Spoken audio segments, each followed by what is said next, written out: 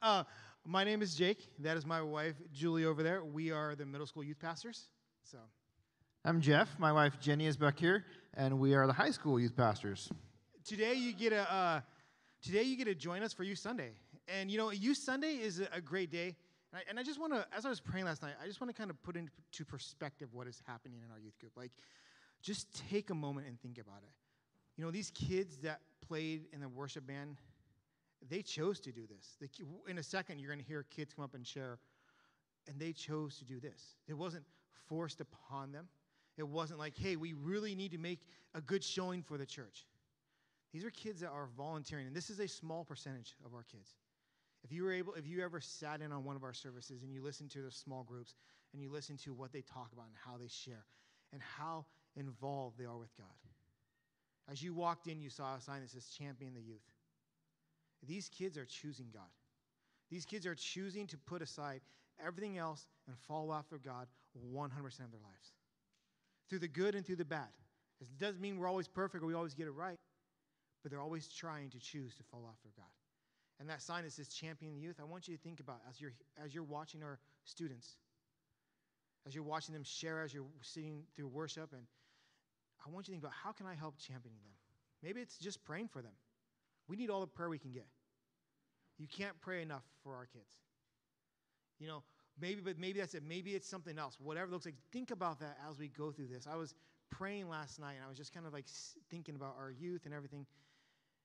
And God just kind of showed me you know, let's just for a moment, I mean, I was just, I don't want to be insensitive, but like not worried about everything else that's going on, right?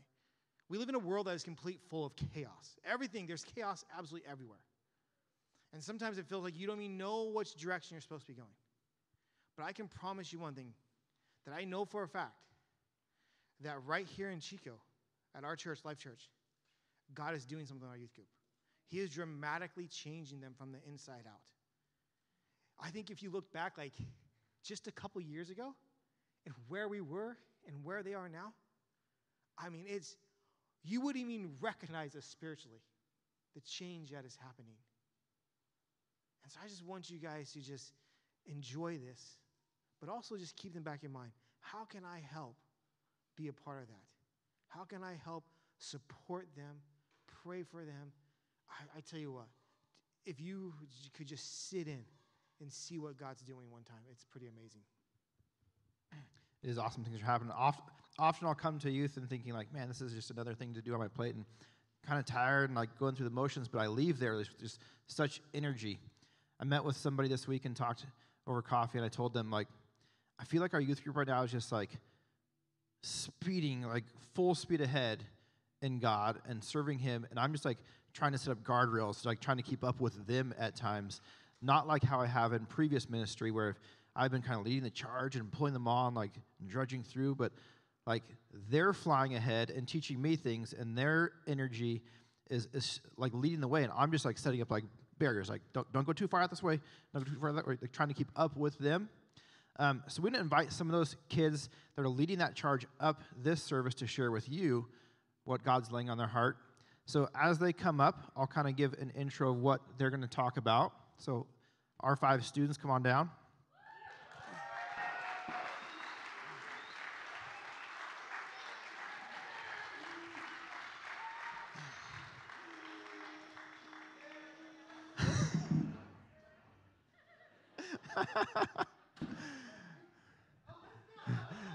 Jake's like, my phone is.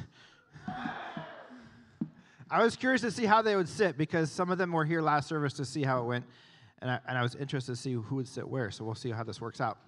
Um, so we've given a, a bunch of junior highers and high schoolers a central verse to speak around, and we've given them the liberty to just let God pour into your life and your heart and see what He has for you. So they've been working through this for, for a couple weeks and given us little notes and tidbits of what they're going to share, but um, we just want them to share with you from their perspective what this verse means in their life and what God wants to share through them.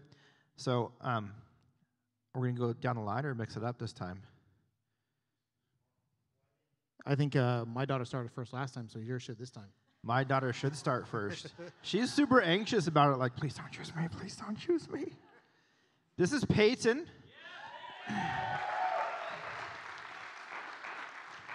and, and, and just so you guys know up on stage, like Peyton has been in youth group since sixth grade, and she's a sophomore now. So she's probably out of this group been in our youth ministry the longest, all the way down to it just happened to be these guys on the end have been here about two months, like w- with us two months, and they're now on stage sharing. So a, a, a big perspective on what's going on. Um, we've got seasoned and we've got new, but the, the excitement is happening all over the place.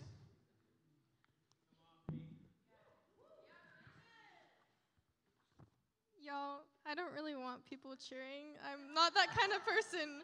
Um, I'm honestly, um, a couple years ago, I would have been like the first one to volunteer and like the first one to um, do all of this. But like through like really realizing who God is, I kind of realized that there's also like a weight in like um, some seriousness to being up here that I didn't realize before. And that's not to say like what I had to say before wasn't still good to hear, but I'm a little bit more like um, taken aback because I'm like, God, I just want you to have glory, and I don't want to be up here saying my words anymore. Um, so normally I would be sitting down there. First service I was, and it was great, guys. Um, but today I'm up here, and I think that's also the beauty of Christ because it says in the Bible that the devil comes to steal, kill, and destroy. And if we all let that happen, we would all be out there. But we're in here today, which I'm glad that you guys are all here. Um, sorry, a little shaky. so, yeah. The verse is John 15, 7 through 8. If you abide in me and my words abide in you, ask whatever you wish and it will be done for you. By this my Father is glorified, that you bear much fruit in Jesus Christ, and so prove to be my, my disciples. So, when I started like researching about this verse and starting to pull ideas and whatever God wants to say about this verse, I looked up the meaning of abide, and there was a couple meanings, but the one that stood out to me is to dwell and continue without fading. And I thought it was significant because if we're dwelling in the Lord, we can't also be dwelling in the world. And um, I've heard this over and over again on recent podcasts and stuff. And Pastor Jeff said it, I think it was last week, but the devil owns a fence. So if we're dwelling in the Lord, we have to be all the way on this side of the fence. We can't be in the middle, seeing God a little bit, seeing the devil a little bit, and hanging out. Like, that's not what we're called to do. So, in order to do that, we have to put all our faith in God and put Him first. We have to abide in Him. So, I also have Matthew 27 31 through 33. It says, Can any one of you, by worrying, add a single hour to your life? So do not worry, saying, What shall we eat? Or what shall we drink? What shall we wear? For the pagans run after these things, but your heavenly Father knows you need them. But seek first his kingdom and his righteousness, and all these things will be given to you as well. The cool thing about this verse is that it expands on the verse um, John 15, 7 through 8, is because it talks about putting God first. And these two things have like things in common, but also things that are different in cool ways. And that's why I love the Bibles because it adds that depth. But um, some things that I got is when we put God first, we begin to dwell completely in Him. And we begin to place our wants and desires in His hands. Like it says, do not worry about what shall we wear, what shall we do. So we begin to place our wants and desires into his hands. And we begin to worry less. It says at the beginning of the Matthew verse, it says, um, Can one of you add a single hour to your life by worrying? And the cool thing about God is when we put our trust in Him and we put Him first and we abide in Him, we begin to worry less. And that glorifies God because we're giving Him priority over our hearts. And when we abide in Him, then we can bear fruit in our lives. Like it says at the um, bottom of um, John 15, verse 7 through 8, um, that you bear much fruit in Jesus Christ. And the fruits of the Spirit are love, joy, peace, patience, kindness, goodness, faithfulness, gentleness, and self control. And our lives begin to be more full of these things, not because circumstantially everything is like, oh, yes, love, joy, peace, patience. It's just because, like, circumstantially, I am not like, like peaceful right now because this is definitely not the place that I would want to be right now, but because of the Lord, I feel somewhat peace. um, and so, yeah, the, when we put Him first, then we can produce fruit in our life and we can be more patient with our si- sisters and brothers in Christ. We can be more gentle. We can be more kind to those around us. And at the bottom of verses John 15, verse 7 through 8, it says, And so prove to be my disciples. And so when we're doing all these things, we're also called to be disciples. And what do disciples do? They tell others so that they can become disciples. They tell others about Jesus. And the cool thing is, when we tell others about Jesus, then they can put him first and abide in him. And they can put their wants and desires into his hands and worry less. Then they can produce more love, joy, peace, patience, kindness, goodness, faithfulness, and self control, and bring God glory. And then they can tell somebody else. They were talking about how the youth group has grown so much and it's because of some people abiding in God and then they're being disciples and telling other people about God, and that creates change. So we must realize that these verses are not just about me and my life, they just only bring me peace. Because I'm not going to keep that peace to myself. I want to share it with people around me. And when it does this, it works not out not necessarily better things for us, but also works out things bigger than us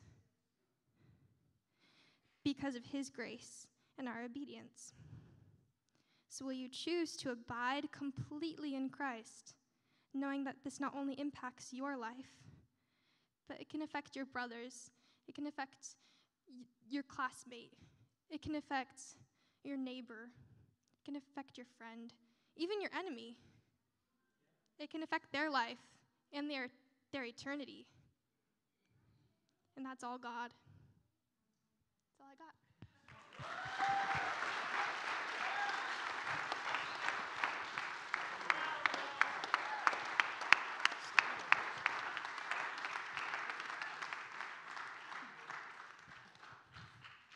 It's um, it's always amazing. Like, you know, you know kids, but you always you don't always know what God's gonna like is doing in their lives and speaking through them.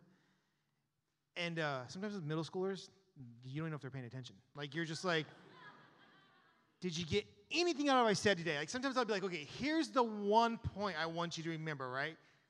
But we have some amazing middle schoolers, and I was just kind of throwing this idea out about sharing, and Brandon was like, I would love to share. And like it always is amazing to me. Sometimes the people that are maybe not always super not loud like me. Like they're not like me. Like they're the exact opposite. Like they're not loud, outgoing. Like someone's gonna fall into verse. But Brenna always has something amazing to share. Every single time we open up for discussion, she's she's just awesome. So she's in the middle school and she's gonna come up and share right now.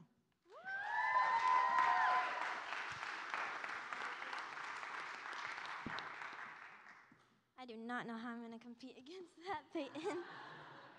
okay, so mine's shorter, but it's about the same verse. Um, John 15, 7 through 8. These verses in the Bible are short but have lots of meaning and can be very powerful. Verse 15, 7 really explains how following Jesus and letting Him be a part of us can do so much for our lives. Uh, we have such an advantage that we can just pray and be guaranteed our, to our answers. Um, simply, all you have to do is welcome Jesus into your heart and love the Lord. Let Him shine through you. Um, the beginning of verse 8 is telling us that God wants us to come to Him and ask Him for the things we need. It gives us it gives glory. Sorry, it gives glory to God when we come to Him with our requests. God wants us to be successful and, and have the things that we need by trusting in Him. Bearing much fruit is abiding in Him, and that means to have faith in Him and know that He is everything we need. By being, by being a disciple, you are showing the world that you are a follower of Christ. You believe in Him and you want to tell others about Him. These verses are so important to live by because it reminds us that God wants us to come to Him with our needs. He wants us to have faith in Him and share the love with others around us.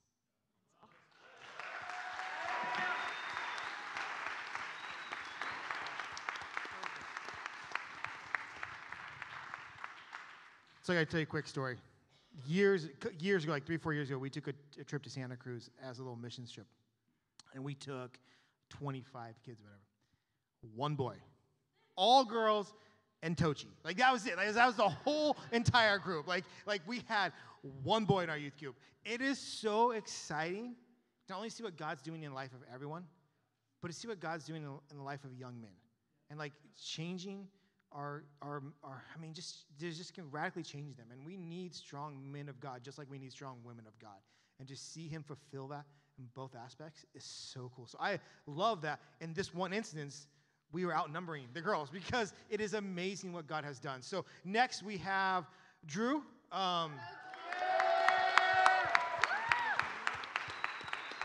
did you want to did you want to share anything awesome about me? Okay, um, I'm Drew.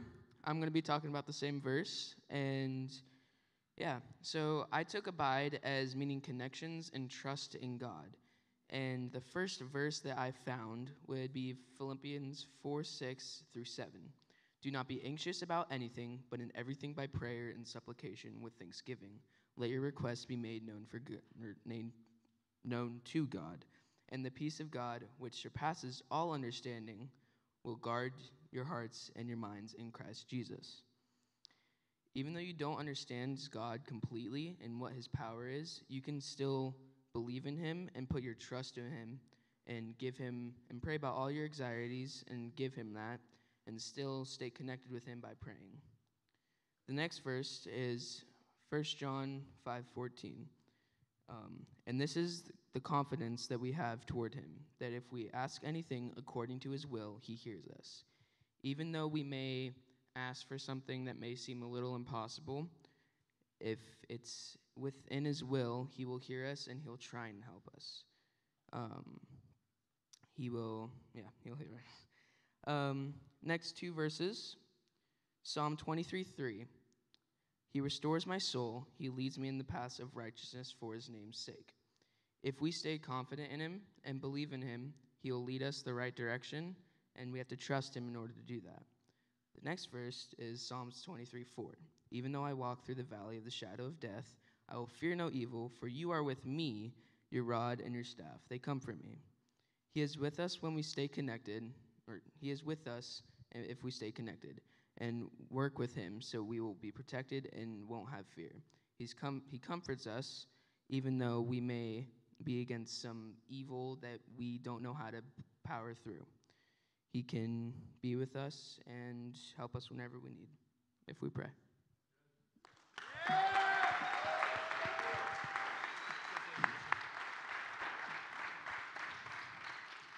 Pastors Jake and Julie just keep making my life easier and easier by pumping out these kind of eighth graders. Like, I just, yeah, I'll take that group again. That's awesome. Um, so we've graduated several groups of eighth graders up. We've also grown by friend invite. Both these last guys came through friend invite. And they came at a time for me where I just returned from summer break. I'm trying to learn all the new names because a bunch of new people came during summer. And then these guys show up, and I'm like, okay, who's the buff one? Who's the tall one? Like, but both have kind of been linked into my small groups. I've had some great conversations with them, and they're like just from the get go full on. And I'm like, these guys must have had like some background in church. Like, oh, I gave my life to God like two weeks ago. I'm like, serious? Like, and you're that on fire? It's ridiculous. So the first one up is Garrett. Come on up.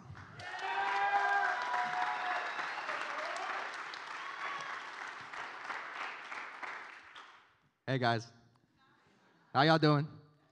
Good, good, good. Did y'all mess with that cartwheel? Cartwheel was crazy. Garrett's running about eight Rice Krispies right now, just so you oh, guys are yeah, prepared. I'm, I'm on. I'm geeking. So, throughout the chapter, right, there is three points that I want to converse about. There is fruit, abiding by the vine, and pruning. I want to go into the pruning aspect. So, in chapter, I mean, John 15, verse 1 uh, and 2, I am the true vine, and my Father is the vine dresser. Every branch in me that does not bear fruit, he takes away, and every branch that does not bear fruit, he prunes, that may bear more fruit. The pruning of the branch, I related to sin, and I related to things that strays away from God. So, the pruning of the branch is rotting the other branches, and by the vine dresser, vine dresser, he takes it away. Now, what is fruit? I believe fruit to be the blessings of God.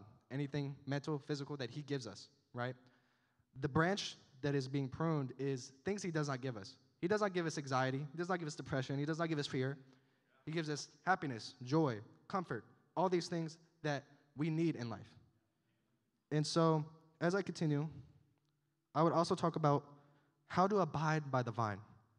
Now, in John 15 12, it says to love another and as thy neighbor. That is just one of many commandments. To abide by the vine is to abide by the teachings, by to live through the teachings of God, by to live through the Bible, by to do what He says. You got to abide to Him, you got to stay true to Him. Without abiding to the vine, you're not going to get any fruit at all. It's just not going to happen. And as I'd like to take away, I would also want to add that every plant, no matter what it is, needs soil and sunlight. God, I believe, the sunlight is our life. I'm not gonna try to like dim it down, but I'm gonna say it. We would be dead because we've all sinned. By Jesus dying on our cross, He saved us all. And I would like to point out that that's the sunlight. The soil is our foundation, our foundation of the condition of our hearts and what we believe in in our true faith. So, yeah, and by exploiting that, we need to go into a daily, true, personal relationship with God. We need to talk with Him every day, as if we would talk to another loved one, as if we would talk to a family member, a, a, a significant other, a friend. We need to talk to Him consistently and all the time, and talk to Him with our true self.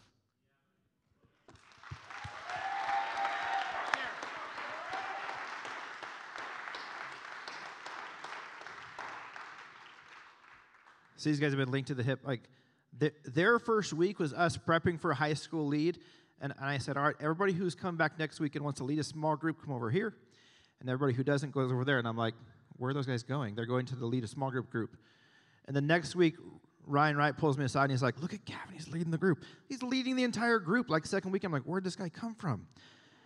But the wisdom these guys have and the like the infancy and the passion of their walk with Christ is just giving me fire to keep on going on. So this is Gavin.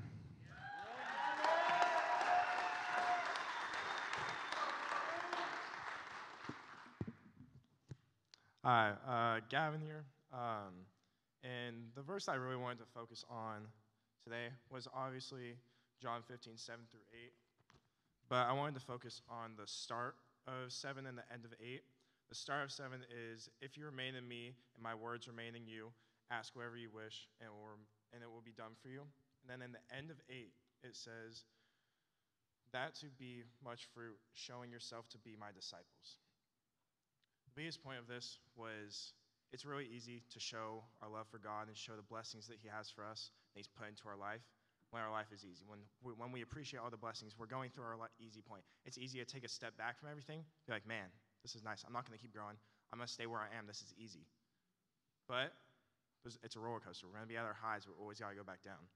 When you hit those lows points, that's the point where we need to show the love to others the most.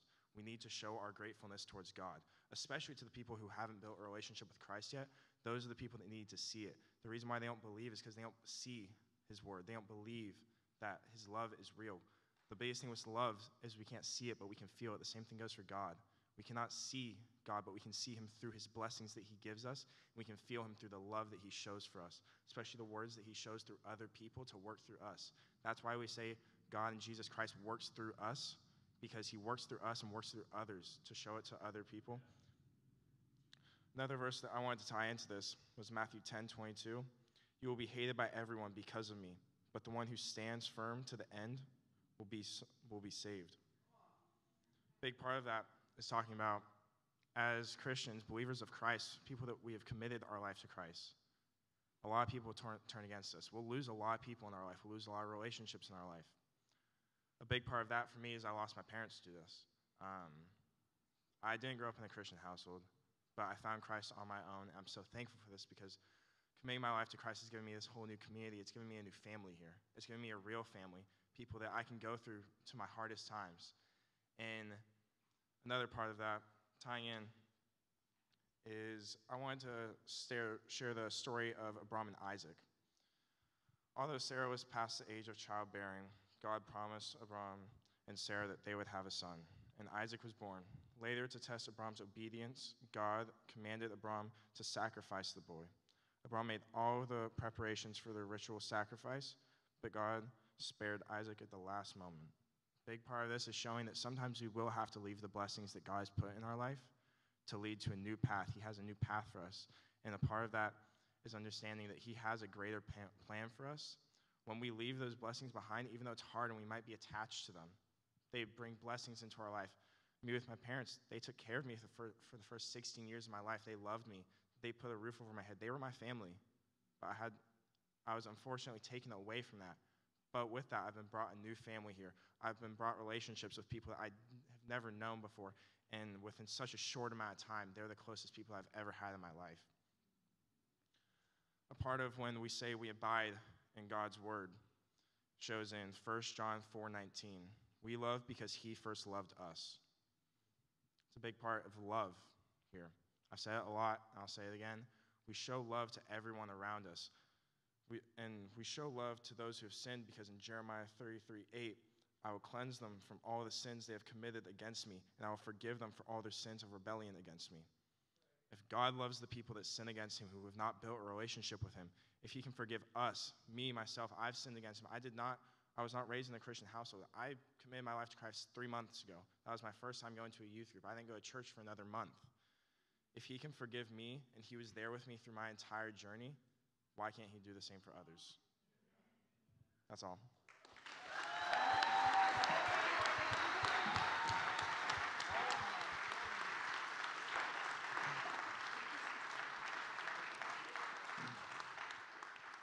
So, hopefully, this gives you guys a little glimpse of what we get every Wednesday.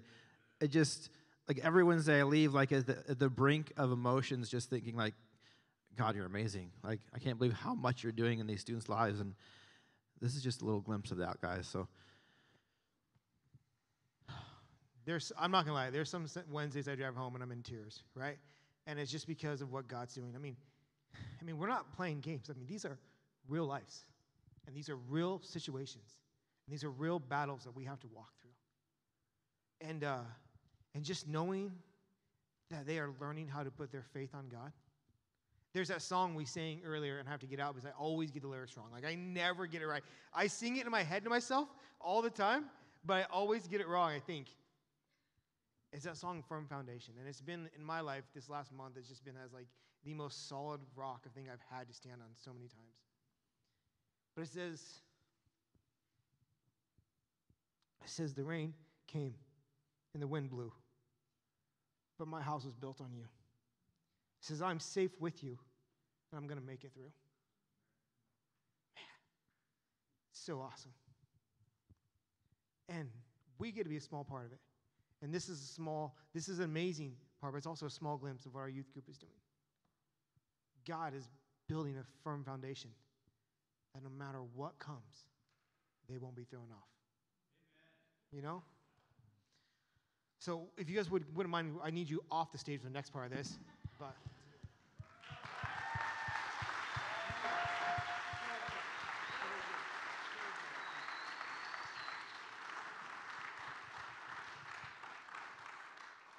I uh um I'm actually just gonna give it to you because I think I will just. You've done good at being on the verge of tears and not letting it just flow. God's doing awesome things. We want you guys to partner with us in supporting this youth ministry. And, and part of that is just simply praying for them. So as we ask you to partner with us, we're going to ask our partners to come on up. Ginny and Julie, come on up. We're going to hand it off.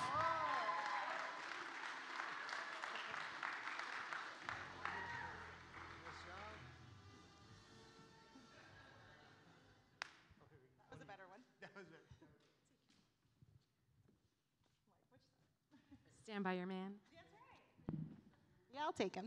We can be together. Aw. All right. Um, so, just as they were saying, we're going to give you guys an opportunity to pray over our teens. So, in just a little bit, we're going to have our teens come down, um, and we're going to invite you to actually pray for them, lay hands on them, and pray for them. Some have shared testimonies today. Our kids are going through some really, really big things. And when they're in youth group, they don't just disappear. They have to go home to those hard situations. They step on their school campuses to temptations and trials, and it's hard. The things they're going through are hard, hard things. And they need the support of everybody in this room to get them through. Um, when they step on their school campuses, they're told, you get to determine your identity. And your voice in here needs to tell them, no, your identity is found in Christ. Their school campuses are telling them lies constantly. And we need to tell them that you don't get to determine your own truth. You need to go to the Word of God to find the truth. They are going through such big things, and our voice in here needs to be louder because we have Christ in us than what the world is telling them. We need to stand alongside of them and say, Come on. You know, Jeff and I have been very fortunate in our lives. Um, we've traveled many different places and lived in many different places, and our kids have been away from their real grandparents, their real aunts and uncles, and God has provided our family with what we call surrogate spiritual family members. And you in this room, you need to come alongside our youth and be those surrogate spiritual family members for them. They need spiritual moms and dads and grandparents, aunts and uncles. They need people to come alongside and say, you know what, I'm praying for you. You've got this. I'm going to walk you through this. I'm going to come alongside and guide you through. And we're going to pray together. We're going to go to the Word, and we're going to get you through this. We need help up here, too. There's four of us up here. We have some amazing, amazing youth leaders. But man, our youth group is growing phenomenally, and we need help. We need people to come alongside and support us as well. Um, so, Julie's got an amazing scripture that she's going to share too. So. Um, I tell you, I get nervous just coming up here, but it's really just God. Me too. just, you know, it's like I'm.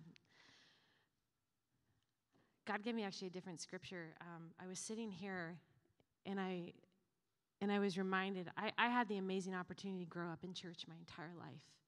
I was taken to church. My my parents weren't pastors or musicians. They just brought me to church, and they prayed for me. And I wouldn't be here today if it wasn't for those prayers. And I was reminded, um, I, I had the amazing opportunity to grow up in youth group, and, and there were three things that I remembered as a youth that I had written down in my Bible. And Proverbs 3, 5, and 6, trust in the Lord with all your heart. Joshua 1, 9, have fear. Don't have fear, have courage. Don't have fear. um, and then there's this one story that I've never forgot. I heard it sp- spoken, I wrote it down 30 some years ago. And uh, I don't know if you've ever heard the story of a man named Shammah. And um, he's been given two scriptures in the whole Bible, but it was powerful. And I look at these youth and I see these youth as, as Shammah and his story and, and, and back. And I don't have time to tell this whole story because we're just about out of time. But he did something that these youth are doing right now. It's like this reckless abandonment. They're done with the world. They don't care anymore. And they're just, I just choose God. They just want God and they want more of Him. And Shammah, there was a lot going on with the Philistines, and they were trying to take over this plot of land for a long, long time. And Shammah was tired of it. He was done. And you know what he did? And this is in 2 Samuel 23, verses 11 through 12. And there was these battles going on and on and on, and he just was done. He was done with this, and he took up his stand in the midst of the plot, not on the side, looking, thinking, oh, maybe someone else will do it. No, he stood out in the midst of it. And that's what they're doing. These young people are choosing to stand in the midst of the storm, and they're standing firm. And you know what happened to Shammah? You know what happened? Because he stood out there in faith. I'm sorry, I'm just going to keep preaching here. And the Philistines were struck down because the Lord worked a great victory, because he chose to stand. And I challenge you, I want you youth to come up here right now. We're going to pray for you. Church, just stand up. We're going to pray. We're going to end the service in prayer. What God has just put inside of you, you can you can be like, I don't know what to pray for these kids. I don't know what to say. I don't know what to pray over them. You pray the word of God over their lives. Maybe God's given you a special word that you want to come and just lay hands on. And I invite you, you know, we're going to play some music right now and we're just going to we're just going to let God just have some time, have some space as his Holy Spirit just moves. And if you feel, just church, if you want to come up and pray, we invite you. This is okay. It's okay. I want you to come up. Come up and, and surround our youth. Come and lay hands on our youth. Let them know that they're loved. Let them know that you're here to stand with them as they stand in the midst of the storm. And as you just let God's presence right now just fill this place, fill your heart. Maybe a word's just going to come over you and just fill you, and you just want to pray, pray it out. And we're going to let this, this time right now, let God just take this time to move, to speak, to heal. I'm just going to pray right now.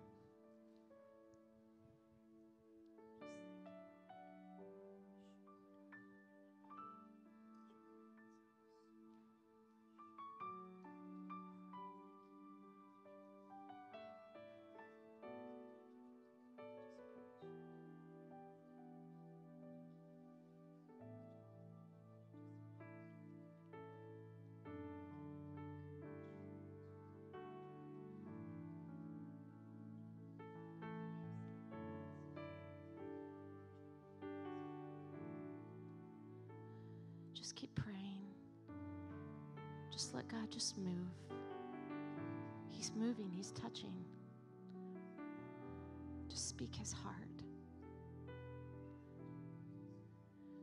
Don't be afraid to let the Word of God just flow through you.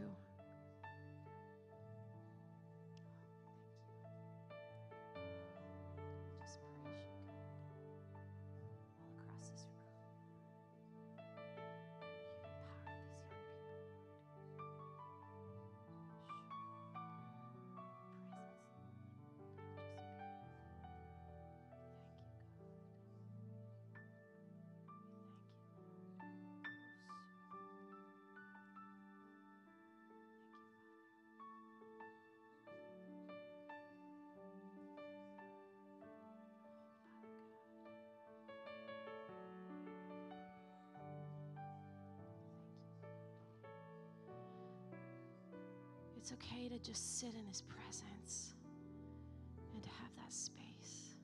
We thank you, God. You are so good, God. You are so good.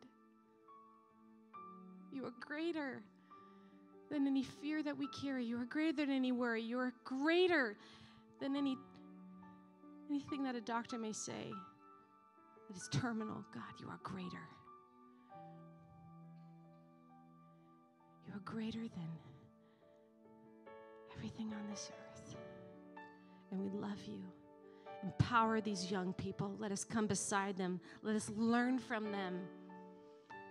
Let us watch them and let us get captured by their passion for you, God. Let it let it just run and spill on over into our church. Let these young people lead this church, Lord. Let them show us what it's like to step out in abandonment and reckless abandonment for you, God.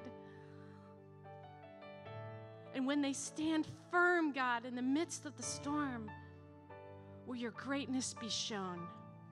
Will your greatness be shown in their life? And we thank you, God. We praise you and we give you the glory and the honor of this this morning. In your great and your holy name. Amen. Thank you. Thank you, church. Thank you so much. There's an amazing poster out in the back. It's called Champion Our Youth. Please write a word, a scripture. Let our church just fill that up this morning. There's markers out there. Thank you so much. Have a great day.